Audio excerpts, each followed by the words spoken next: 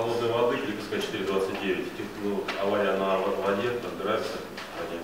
Остальное все в работе. Скажите, пожалуйста, ситуация, э, я общался в пятницу, то, что в водоканале происходит там по, по канализации, что есть А, обвалы? Э, Есть аварийная ситуация по ней, водоканал присутствует, может доложить пота- точнее. Э, На на канализационном коллекторе городском значит, утечка и требуется ремонт, предварительно оценивает водоканал сумму 5 миллионов 700. Это собственность водоканала, не муниципальная собственность. Они пытаются своими силами развернуть. Здесь пешеходной части э, провал, он ну, медленно развивающееся событие, то есть это не а, такая авария, которая для автомобилистов. А, Мы планируем сделать обследование инструментальное. Сейчас разбираемся с источником финансирования. Все в рабочем порядке, готовимся к отопительному сезону. Все управляющие компании и ресурсоснабжающие организации работают по графику. Значит, э, проводим торги по внутридворовым территориям, все уже подтверждения получили из правительства, из комитета дорожного комитета. Значит, э, э, и занимаемся все по плану. И большое спасибо за дорогу на Садовод, мы начали на прошлой Начали. неделе делать, да, начали, так что огромное спасибо, я разговаривал с садоводами, они, в общем-то, все благодарят.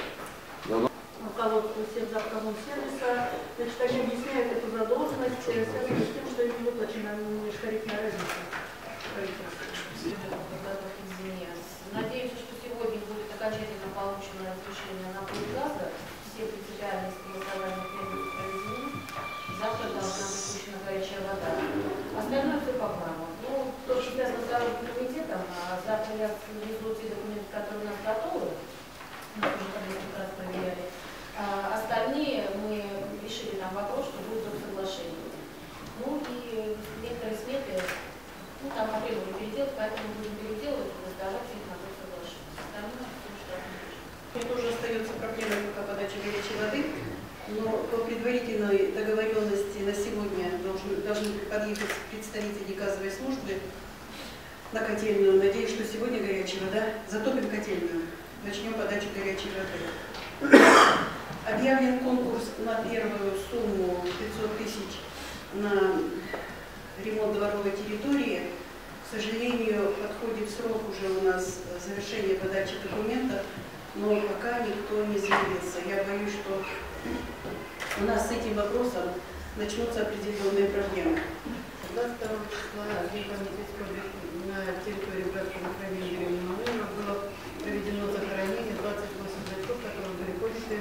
нашли свою перспективу.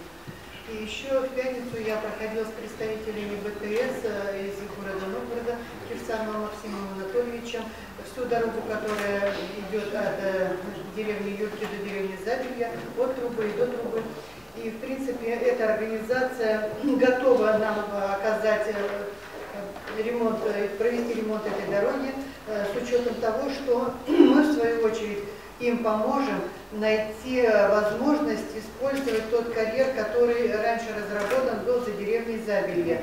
Э, Грунт, э, зем- да, песок, он очень э, крупнозернистый и подходит как раз вот для подсыпки этой дороги. А где-то со среды приедет экскаватор и начнет проводить оканавливание этой дороги. Наших нет. 12 ДТП, пострадавших 11, погибших трое. То есть по ДТП в этом месяце у нас пошли, да. 1-22 июня. 21 июня ночью состоялась традиционная уже акция «Свеча памяти». Э, Собралось не так много народу, как нам хотелось бы, всего 100-150 человек с учетом ротации. Тем не менее, население приезжает на машинах, берут свечи, э, вспоминают э, павших воинов. 22 июня состоялось два мероприятия. Э, Также центральный митинг, возложение венков здесь, у памятника славы площадь 500.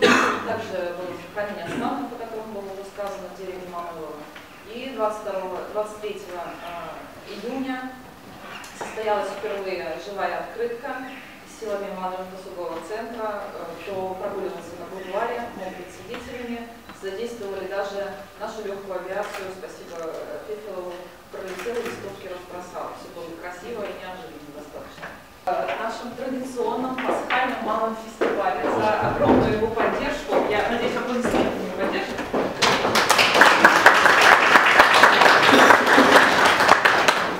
Тысячи 2012 года дошкольное учреждение посещает 3651 человек в возрасте от 1 года до 7 лет. Это на 123 человека больше по сравнению с 2012 годом и составляет 80% от общего числа детей данного возраста, проживающих в Елисейском районе. Показатели охвата детей дошкольным образованием значительно различаются. Так, в городской черте этот показатель составляет 89%, ну, то есть от общего числа детей, проживающих в городе, и в сельской местности 56%.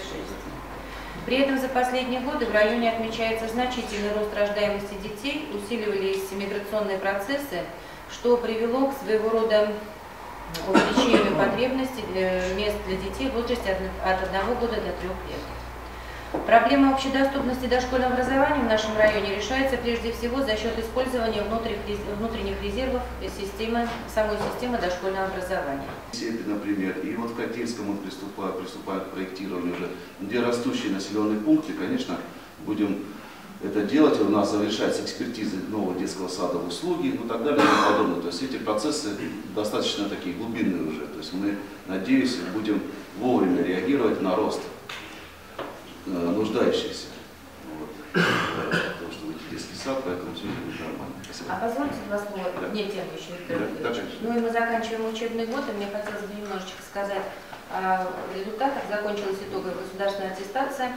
Э, У нас результаты по сравнению с предыдущим годом по всем предметам и обязательным русской математикой и по, по выбору средний балл по району выше, чем в прошлом году.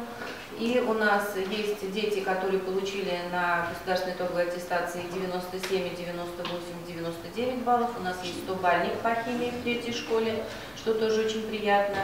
А, У нас будет м, 26 золотых медалистов, 20 из них серебряных. И завтра у нас состоится церемония здесь в администрации, вручение серебряных медалей, чествования медалистов 2 часа. Мы с удовольствием всех приглашаем. Губернатор Ленинградской области награждается за большой вклад в социально-экономическое развитие Ленинградской области Трофимова Елена Павловна. И благодарность э, губернатора Пегашеву Александру Сергеевичу за большой вклад в социально-экономическое развитие Ленинградской области.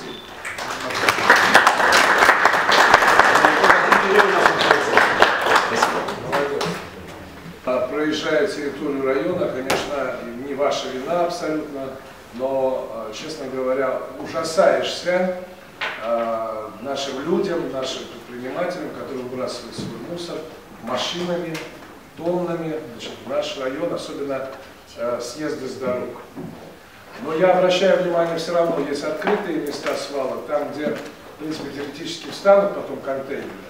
Но э, видите, например, контейнер стоит, и все вроде бы нормально. Но возле контейнера столько грязи, столько мусора, причем бытового, не такого не строительного, не бытового.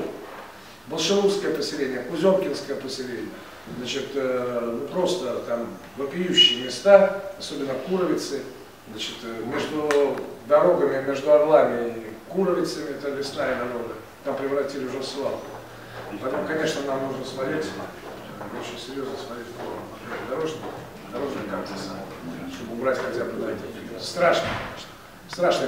И гра- главное, никто уже не стесняется.